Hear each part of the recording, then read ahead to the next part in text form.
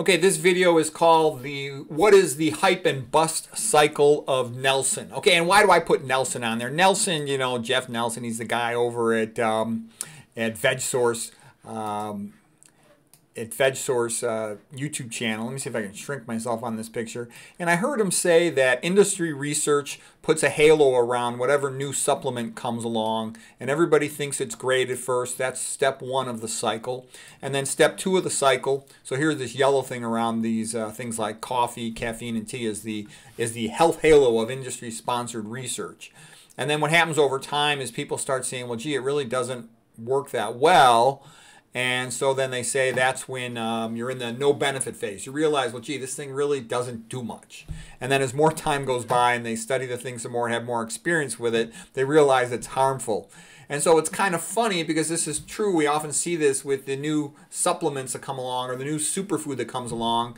And anybody with any experience with medicine sees this is how it typically is with drugs.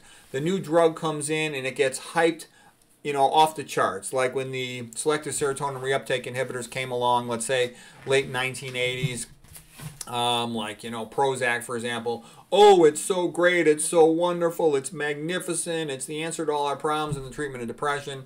And then they start to see, well, gee, it really doesn't do much better than placebo. And then they start to see it causes terrible complications, makes people crazy, increases their, their incidents of bad behavior and, and bad outcomes, okay?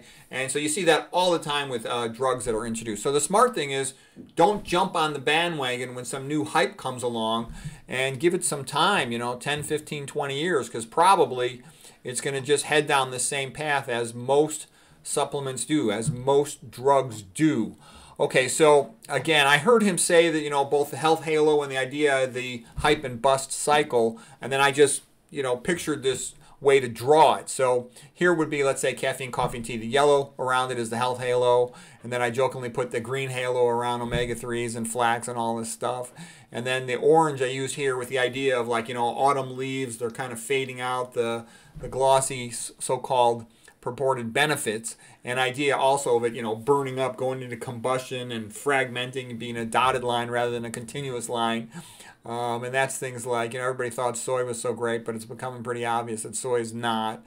People used to think MVI multivitamins were so great, but now they're seeing that there's a lot of problems with heavy metals in these vitamins. You don't want to be taking a vitamin unnecessarily giving you extra copper or iron or things that can give you problems from overoxidation. Calcium supplements, the women have increased all-cause mortality when they're taking calcium supplements over, you know, let's say 1,400 uh, milligrams a day. And then uh, fish, people used to think fish is so great, but now you study fish, and the more fish people eat, the more mercury they tend to get, the more risk they are being demented, not to mention when it's fried, all the sat, fat, and other problems with it you know, estrogenic chemicals and other toxic chemicals, PCBs and whatnot, and omega-6 cooking oils, which were sort of purported in the 1960s to be the great alternative to saturated fat. You know, Ancel Keys showed sat fat was bad in the 1950s, and then they started giving everybody omega-6 cooking oils, but then, you know, progressively from the initial work of Meyer Friedman and Ray Rosenman showing that they cause blood sludge as well um, and tissue hypoxia. And of course, F minus, you know, comes even before that. You know, oh, the great thing for your teeth. And now we see that it lowers IQ and it increases cancer risk. So, anyways, this is a typical cycle. And so the lesson to be learned from all this is, um, you know, sit tight. There's always going to be some new thing coming along hyped and don't jump on the bandwagon because most of these things, unless there's a good logical mechanism and you can clearly see dramatic giant results, it's probably bogus and it's going to go through this, uh, this cycle.